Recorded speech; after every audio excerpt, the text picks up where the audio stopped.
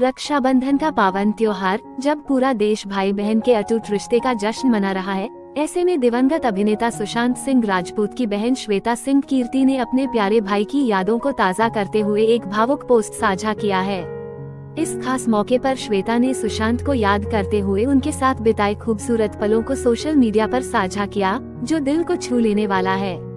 श्वेता सिंह कीर्ति ने अपने इंस्टाग्राम पर सुशांत का एक पुराना वीडियो शेयर किया है, जिसमें वह अपने चिर परिचित अंदाज में मुस्कुराते नज़र आ रहे हैं। इस वीडियो के साथ श्वेता ने लिखा, हैप्पी रक्षाबंधन मेरे प्यारे भाई, तुम न केवल एक बेहतरीन कलाकार थे, बल्कि एक अद्वितीय इंसान भी थे। तुम्हारी मुस्कान और प्यार ने कितने दिलों को छू लिया है। मैं भी तुम्हारे नक्शे कदम पर चलकर दुनिया में प्यार और खुशी फैलाना चाहती हूँ। श्वेता ने अपनी इंस्टाग्राम स्टोरी पर इसी पोस्ट को शेयर करते हुए लिखा हैप्पी रक्षाबंधन मेरे प्यारे भाई, मुझे उम्मीद है कि तुम हमेशा उच्च लोकों में देवताओं की उपस्थिति में खुश और सुरक्षित रहोगे। 14 जून 2020 को महज 34 साल की उम्र में सुशांत सिंह राजपूत का दुखद निधन हो गया था, जिससे उनके परिवार, दोस्तों और फैंस को गहरा आघात पहुँचा था। उनकी मौत ने पूरे देश को झकझोर कर रख दिया था।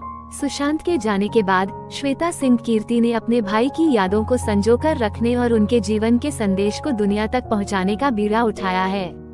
रक्षाबंधन पर श्वेता की यह भावुक पोस्ट न केवल सुशांत के प्रति उनके असीम प्रेम को दर्शाती है, बल्कि यह भी याद दिलाती है कि भाई बहन का रिश्ता कितना अनमोल और प्यारा होता है।